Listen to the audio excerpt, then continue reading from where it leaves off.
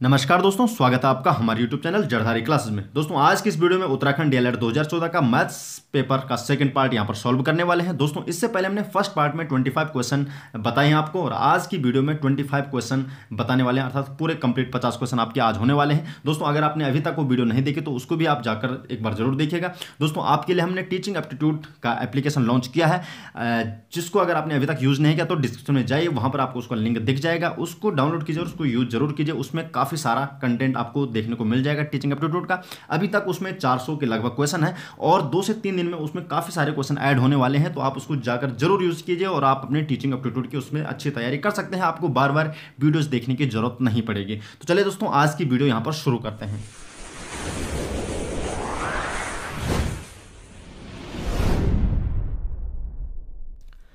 दोस्तों, आज की वीडियो का पहला क्वेश्चन है। क्वेश्चन नंबर 126 है। 125 क्वेश्चन तक हम पहले ही डिस्कस कर चुके हैं कि यदि किसी संख्या के एक बटे दो भाग, एक बटे तीन भाग तथा एक बटे चार भाग का योग संख्या से चार अधिक है तो संख्या क्या होगी? आपको पूछने बताना है कि वो संख्या क्या है।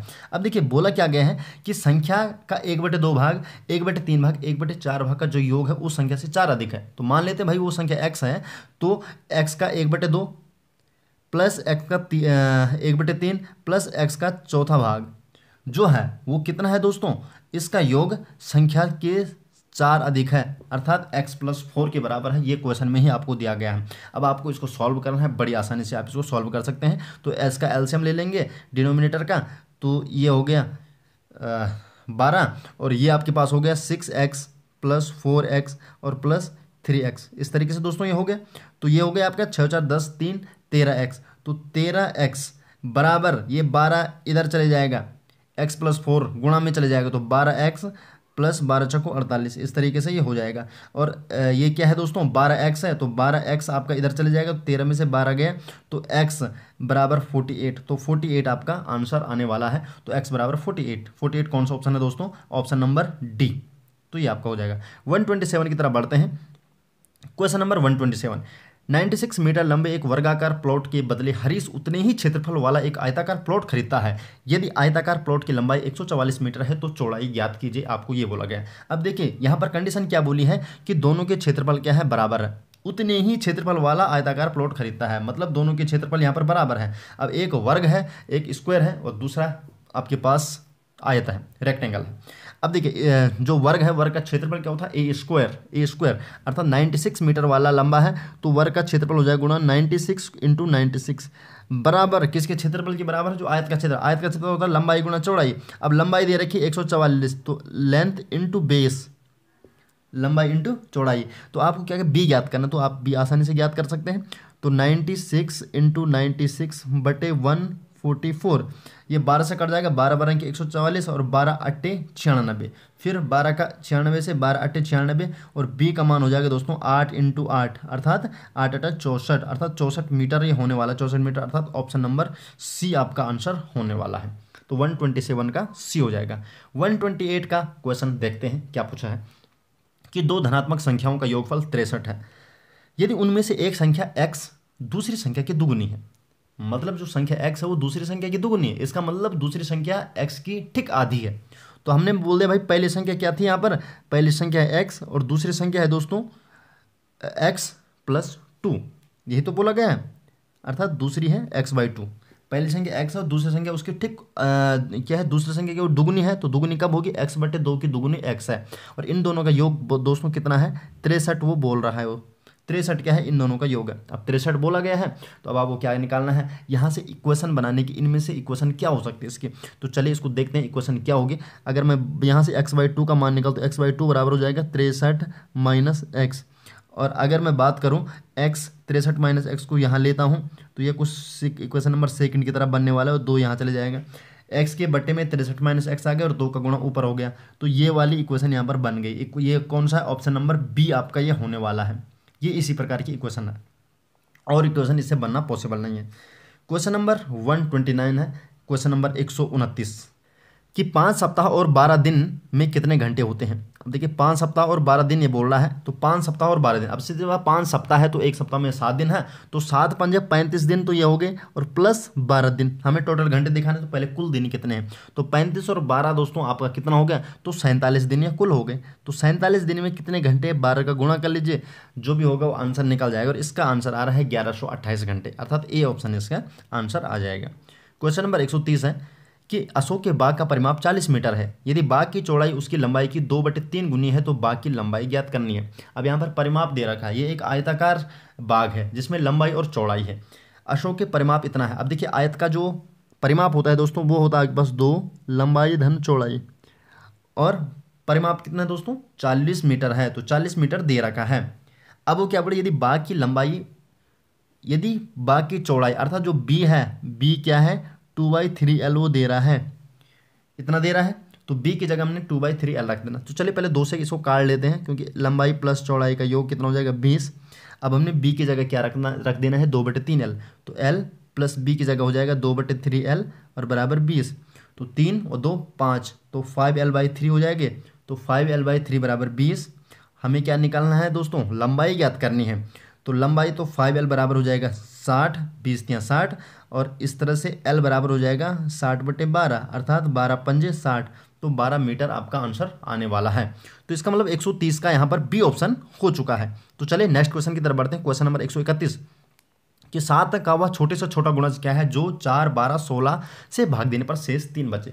अब देखिए, इस तरीके क्वेश्चन का सबसे आसान तरीका है, आप इसके ऑप्शन ही चेक कर लीजिए। भाई, सात का सबसे छोटा गुणज, जिसमें पहले सात का भाग किसमें जाता है? तो एक और इक्यावन में तो जानना अर्थात फोर्टी नाइन और एक सौ सैंतालीस में। सात का भाग सात सौ उनपचास में जाता है, लेकिन अगर आप इनका भाग देंगे तो शेष तीन नहीं बचेगा। एक सौ सैंतालीस भी सात का एक गुणज है तो इन तीनों का भाग क्या है? अगर आप इसमें देंगे तो हर कंडीशन में तीन दिन शेष बचने वाला है। सबसे आसान तरीका यही है। अगर आप इसका तरीका जानना चाहते हैं तो भाई तरीका क्या होगा कि चार बारह और सोलह का आप एल्शियम निकाल लीजिए। चार बारह सोलह का एल्शियम है, फोर्टी एट और फोर्टी एट तो एल्शियम है और तीन शेष बचाना है। अब देखिए, पहली संख्या क्या फोर्टी एट है? अगर आप फोर्टी एट में प्रत्येक बार तीन जोड़ लीजिए, फोर्टी एट प्लस थ्री अगर आप करते हैं तो फोर्टी एट प्लस थ्री तो भाई कितना होता है? इक्यावन होता है तो सात का इक्यावन में तो जाता ही नहीं है। फिर फोर्टी एट गुणा दो कर लीजिए तो फोर्टी एट गुणा दो कितना हो जाएगा? नाइन्टी सिक्स हो जाएगा। डबल गुणा करना पड़ेगा ना, क्योंकि भाई इसका जो एल्सियम है वो फोर्टी एट है। फोर्टी एट में इसका इसका तीनों का भाग जाता है। अब शेष अगर तीन बचा तो प्लस तीन करना पड़ेगा। तो उसमें सात का भाग जा नहीं रहा है। फोर्टी एट गुणा दो कर रहा है नाइन्टी सिक्स तो नाइन्टी सिक्स प्लस तीन, अर्थात ये कितना हो जाएगा?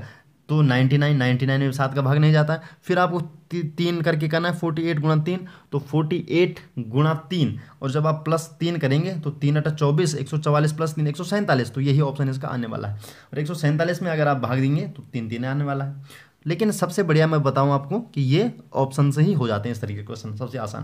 Question number one thirty two है कि एक फलों की बड़ी टक्कर में बड़ी टोकरी होगी वैसे में तीन संतरे, दो सेब और पाँच केले हैं। इनमें से यदि एक फल यादृशिक रूप से चयन किया जाता है तो इसके एक संतरे या केले होने की प्रायिकता या पूछा गया इसका मतलब जोड़ आपको करना है। अब देखिए, संतरे और या केले होने की प्रायिकता। अब संतरे की प्रायिकता, कुल कितने तीन, दो, पाँच और पाँच, दस। तो दस हैं, पहले हम निकाल दें संतरे की प्रायिकता। तो संतरे की प्रायिकता है तीन बटे दस। और अगर वो केला हो तो केले कितने हैं दोस्तों? पाँच तो पाँच बटे दस हो जाएगी केले की प्रायिकता। अब वो बोला है कि इसके संतरे या केले होने की प्रायिकता तो या का मतलब है जोड़ आपको कर देना है। तो पाँच और तीन, आठ बटे दस। तो दो चक्को आठ, दो पंजे दस काट के आपका हो गया चार बटे पाँच। अगर वो पूछा पूछा हो कि संतरे और केले होने की प्रायिकता क्या होगी तो फिर आपको क्या करना था? तीन बटे दस गुणा पाँच बटे दस गुणा कर देना था आपको, फिर पाँच पंद्रह, दस के सौ हो जाना था उसको। तो या और और में अंतर केवल क्या है? या का मतलब जोड़ है, और का मतलब गुणा है। क्वेश्चन नंबर 133 है कि एक बटे दो धन, एक बटे दो धन, एक बटे दो धन का मान क्या होगा? तो भाई ये सीधा जोड़ हो रहा है सिंपल क्वेश्चन है, एक एक, दो और एक, तीन तो तीन बटे दो आपका आंसर हो जाएगा। क्वेश्चन नंबर एक है कि यदि कक्षा के पंद्रह लड़कों की औसत आयु ग्यारह वर्ष है और यदि वह यदि नौ वर्ष के पाँच लड़के कक्षा में और सम्मिलित हो जाएँ तो उनकी औसत आयु अब क्या होगी? अब देखिए, औसत का मतलब क्या होता है? कुल जोड़ बटे कितने संख्या हैं? कुल बच्चों की उम्र कितनी है? बटे कुल बच्चे हैं कितने?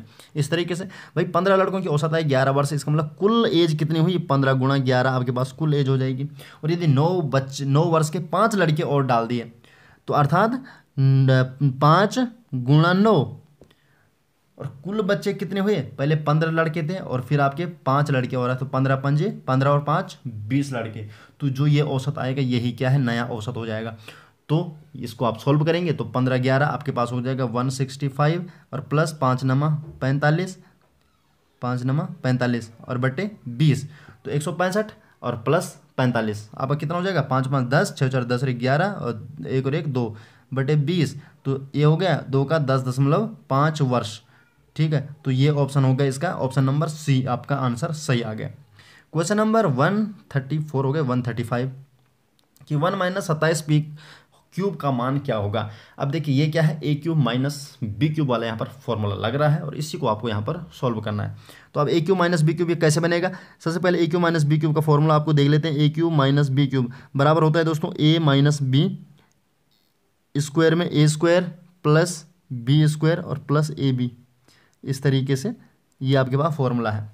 A minus b a square plus a b plus b square जिस तरह से भी आप लिखना चाहते हैं इसको तो वन माइनस सत्ताईस पी क्यूब का मतलब कितना है? वन माइनस सत्ताईस पी का मतलब ए का क्यूब माइनस थ्री पी का क्यूब अब है थ्री थ्री नौ इंटू थ्री सत्ताईस. तो इसका आपको इस तरीके से लिखना तो कितना हो जाएगा? तो ए माइनस बी कैसे लिखेंगे? ए माइनस बी का मतलब है one minus three p into a square a square का मतलब है एक. बी स्क्वायर बी का मतलब कितना है? थ्री पी तो थ्री पी का स्क्वायर अर्थात नाइन पी का square plus a b, plus a b का मतलब थ्री पी गुणा एक तो थ्री पी होने वाला है।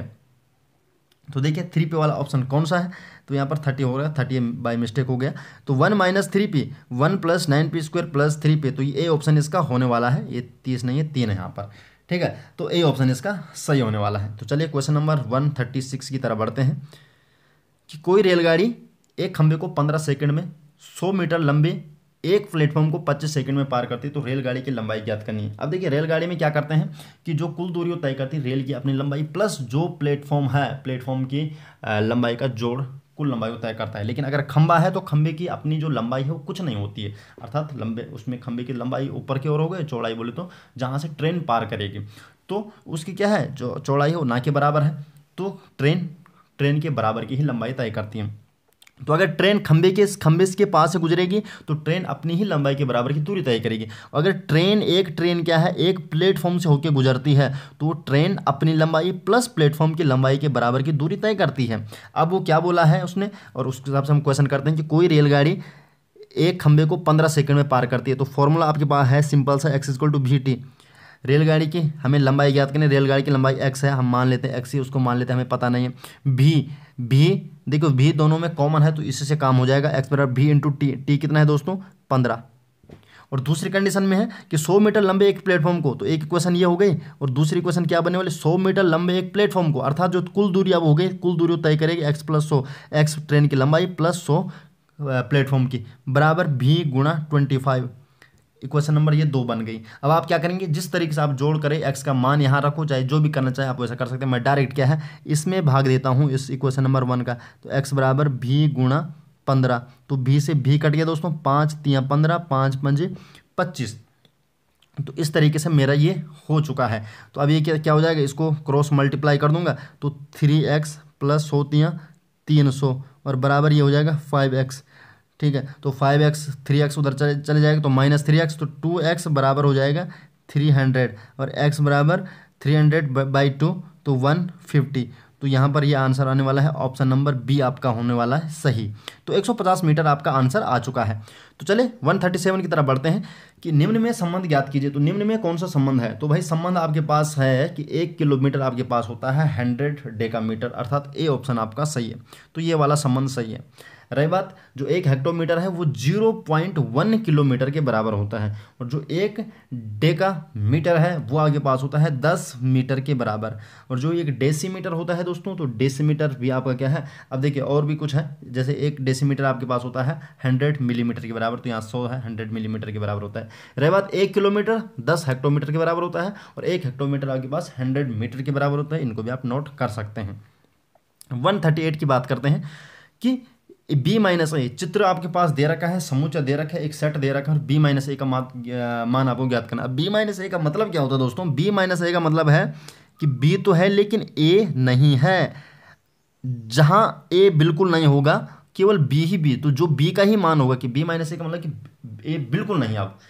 अब केवल जो बी का, केवल और केवल जो बी का मान है, वही आपको लेना है। तो बी ए ये है दोस्तों और बी ये है।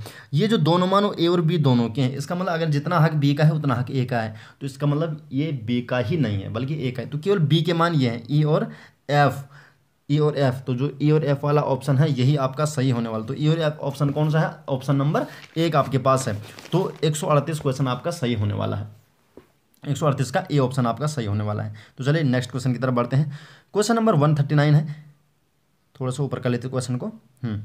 कि दिए गए ओ वृत्त का केंद्र है, यदि ओ एम बराबर, ओ एम आपके पास दे रखा है दोस्तों, ओ एम चार सेंटीमीटर दे रखा है, ओ ए बराबर यहाँ पर पाँच सेंटीमीटर दे रखा है तो ओ एम लंब है यहाँ पर, किस पर? ए बी तो ए बी, जो ए बी जीवा है दोस्तों, ये आपको ज्ञात करनी है। अब देखिए यहाँ पर सीधे सी बात समकोण त्रिभुज है तो पाइथागोरस पर में आपको पता ही है कि लंब का स्क्वायर प्लस आधार का स्क्वायर बराबर कर्ण का स्क्वायर तो आप क्या है ये कर्ण है, ये लंब है तो आधार कैसे निकालेंगे? तो आधार हो जाएगा कर्ण का स्क्वायर पच्चीस माइनस लंब का स्क्वायर चार चको सोलह। तो पच्चीस माइनस सोलह नौ और ये हो जाएगा थ्री तो ये हो जाएगा ए एम बराबर थ्री तो थ्री ये है, क्योंकि लंब है तो जितनी दूरी ये है, उतनी दूरी क्या है? एम बी है। तो थ्री प्लस थ्री हो जाएगी सिक्स सेंटीमीटर तो अर्थात सी ऑप्शन इसका सही होने वाला है। क्वेश्चन नंबर एक सौ चालीस है कि किसी त्रिभुज के कोण दो अनुपात, तीन अनुपात, पाँच के अनुपात में है तो प्रत्येक कोण का मान ज्ञात कीजिए। अब देखिए, सीधी सी बात है, त्रिभुज के तीनों कोणों का योग होता है, एक सौ अस्सी अनुपात ये दे रखे तो तीनों दो, पाँच और पाँच, दस जो अनुपात है, चलिए दस एक्स मान लेते बराबर एक सौ अस्सी तो एक्स का मान कितना हो जाएगा दोस्तों? अट्ठारह सीधी सी बात, दस अनुपात का मान एक सौ अस्सी तो एक अनुपात का मान अट्ठारह है। कैसे भी आप सोल्व करो, जो भी आपको उचित लगता है। तो एक्स, एक अनुपात का मान अठारह है तो अब देखिए कौन क्या, कौन कौन से होंगे एक है दो तो अठारह दूनी, छत्तीस, फिर तीन है अठारह तीन, चौवन, और अठारह पंजे नब्बे तो छत्तीस, चौवन और नब्बे, ये ऑप्शन इसका सही होने वाला है। क्वेश्चन नंबर एक सौ इकतालीस का है कि श्याम ने एक पुरानी साइकिल 136 में बेचकर 15 परसेंट हानि पाई। वह उसे कितने में बेचता है कि उसे 15 परसेंट का लाभ होता है? ठीक है 15 परसेंट ये बचता था कितना? बोले तो लाभ के बारे में यहाँ पर बात कर रहे हैं।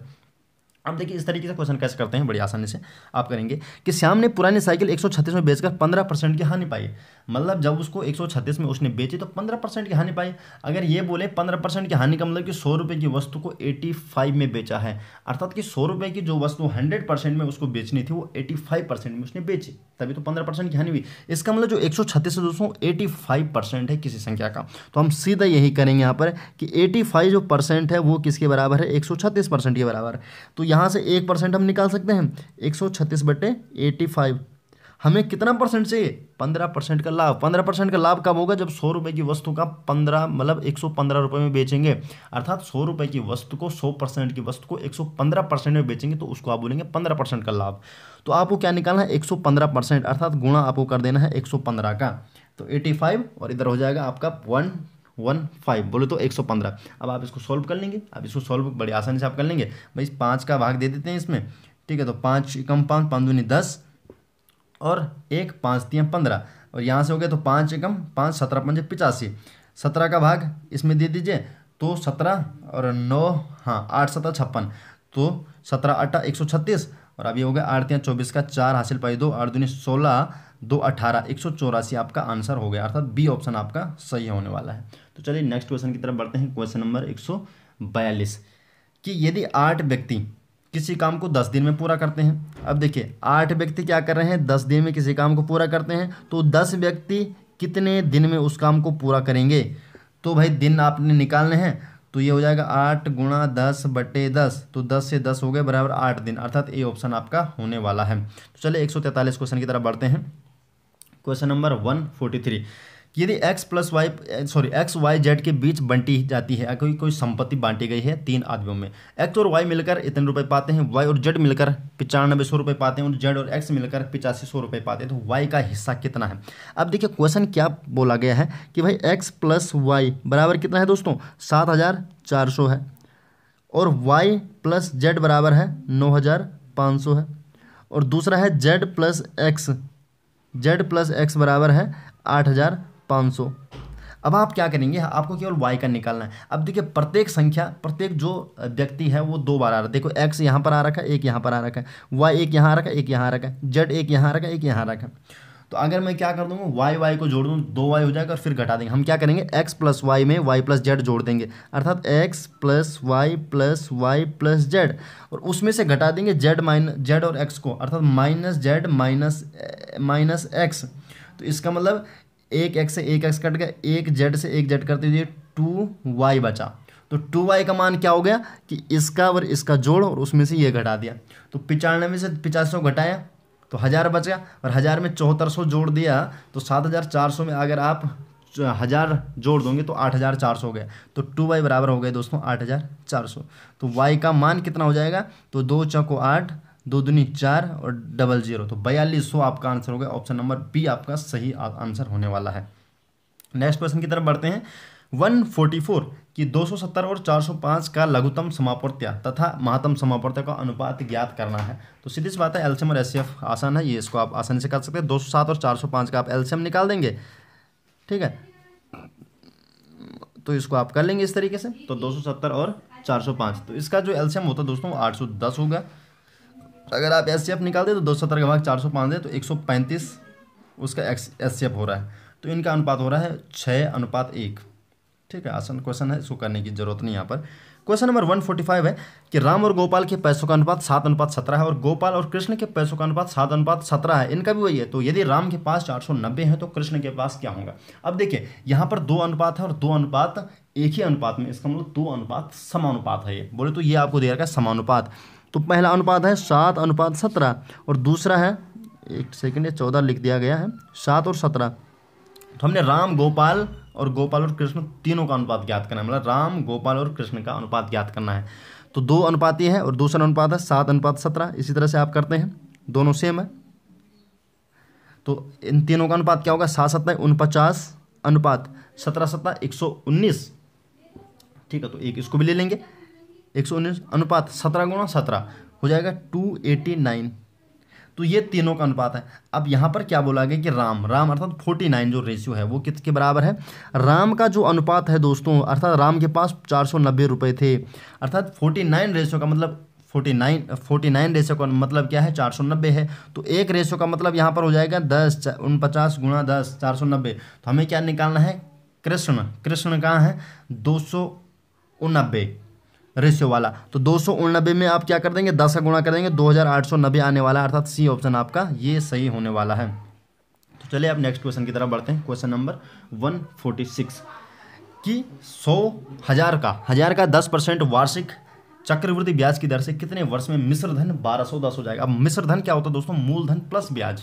अर्थात जो ब्याज ही ब्याज है, ब्याज कितना है? बारह सौ दस में से आप हज़ार घटा देंगे। तो मिश्र धन है बारह सौ दस। बारह सौ दस आपके पास मिश्र धन है और मूलधन है हज़ार। तो जो ब्याज पड़ा, ब्याज आपका दो सौ दस रुपये हुआ है। अब आपके पास फॉर्मूला क्या है? सिंपल इंटरेस्ट का है ये तो पी गुणा आर गुणा टी बटे हंड्रेड बराबर ब्याज और ब्याज आपको दो सौ दस दे रखा है। पी आपको दे रखा है हज़ार आर आपको दे रखा है दस टी आपको ज्ञात करना है बटे सौ, दो सौ दस। है तो भाई दो ज़ीरो है तो दो ज़ीरो यहाँ से कटी तो दस संगे सौ और टी। तो तो ये हो जाएगा सौ गुणा टी बराबर दो सौ दस। तो यहाँ से आप टी का मान निकाल देंगे। एक सेकंड। तो ऊपर नीचे हो गई थी स्क्रीन 200 कितना हो गया था दोस्तों? यहाँ पर देख लेते हैं कि 100 गुणा टी बराबर होता है 210 तो टी बराबर कितना हो जाएगा? 210 बटे, अर्थात दो दशमलव एक वर्ष। अब दो दशमलव एक वर्ष तो यहाँ पर ऑप्शन है ही नहीं। तो उसके जो सबसे निकट है वो दो वर्ष है। तो बी ऑप्शन ही इसका सही होने वाला है। तो चलिए क्वेश्चन नंबर फोर्टी सेवन की तरफ़ बढ़ते हैं कि यदि x बराबर एक, दो, तीन, चार, पाँच जो भी दे रखा है, y इतना z इतना, तब x, y, z का, अब देखो यूनियन दे रहा है ये।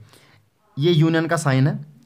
अर्थात x यूनियन y यूनियन मतलब सब मिलके। सब मिलके बोले तो एक्स वाई जेड सब मिलके क्या हो रहा है? तो सबको निकालना है।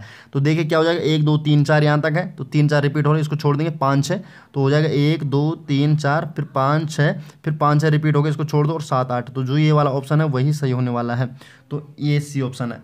अगर वो आपके पास इस तरीके से x intersection y, intersection z देता है तो फिर आप वो क्या करें, जो कॉमन है, इसका मतलब ये कॉमन वाला साइन अब कॉमन इसमें फिर क्या है, तीनों में कोई नहीं है। इस तरह मतलब ये क्या हो जाएगा, ये इस तरीके से हो जाएगा ज़ीरो। ठीक है, क्योंकि एक, दो, तीन, चार तो यहाँ तीन, चार कॉमन है तो तीन, चार कॉमन है तो तीन, चार ले सकते हैं एक्स, वाई वर्ग में, और फिर वाई और जेड में तीन, चार यहाँ है ही नहीं तो इसका मतलब यहाँ पे कोई कॉमन नहीं था। 148 का है यदि m, n दो धन पूर्णांक है। m की पावर n बराबर पच्चीस है दोस्तों तो n की पावर m तो m की पावर n कम होगा? m की पावर n फाइव की पावर टू होगा।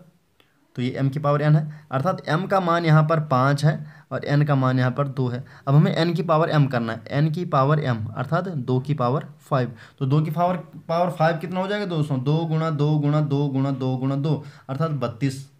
तो D option question number one forty eight यदि एक्स प्लस वाई बराबर दस है एक्स वाई बराबर इक्कीस है तो x cube plus y cube का मान आपको ज्ञात करना है। अब देखिए, इसको आप कैसे करेंगे? X x cube plus y cube का फॉर्मूला मैंने पहले अच्छा वो माइनस में था ना तो प्लस में आपको बता देते हैं। एक्स प्लस वाई ठीक है तो एक्स प्लस वाई ये हो गया। और जो x cube plus y cube तो x plus y into x square minus y square और plus x y x square minus x y और प्लस वाई स्क्वायर ये आपका फॉर्मूला होता है। उसमें यहाँ पे देखो, अगर प्लस वाला तो प्लस है और अगर माइनस वाला तो यहाँ प्लस होता है। तो x cube plus y cube है x plus y x square minus x y plus y square अब आपको एक्स प्लस वाई दे रखा है दस एक्स वाई आपको इक्कीस दे रखा है। लेकिन आपको क्या चाहिए? X square plus y square अभी नहीं पता है आपको। ठीक है, अगर मैं ये बोलूँ कि भाई x cube plus y cube तो एक्स प्लस वाई दस हो गया। और x square plus y square अपनी जगह ठीक है इसको मैंने इधर कर दिया और माइनस एक्स वाई हो गया इक्कीस। लेकिन x square plus y square हमें नहीं पता है। अब इसको हम कैसे निकालेंगे? ए प्लस बी के होल स्क्वायर से आप इसको निकाल सकते हैं। तो भाई x square plus y square plus two x y. तो हमें चाहिए x square plus y square. तो x square plus y square दोस्तों हो जाएगा एक्स प्लस वाई का whole square minus two x y. तो एक्स प्लस वाई कितना? दस। तो दस का स्क्वायर हो जाएगा सौ और माइनस टू एक्स वाई। और एक्स वाई का मान है इक्कीस। तो टू एक्स वाई का मान है इक्कीस दूनी बयालीस।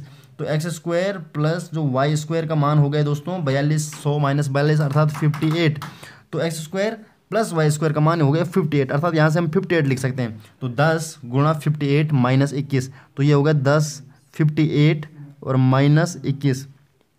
तो दस गुणा फिफ्टी एट माइनस इक्कीस कितना हो जाए? आठ में से एक गया आपके पास, सात हो गया, पाँच में से हो गया, तीन। तो सैंतीस तो तीन सौ सत्तर। तो थ्री सेवन ज़ीरो ये आपका आंसर होने वाला है, अर्थात ऑप्शन नंबर कौन सा ये? ऑप्शन नंबर पी आपका आंसर होने वाला है।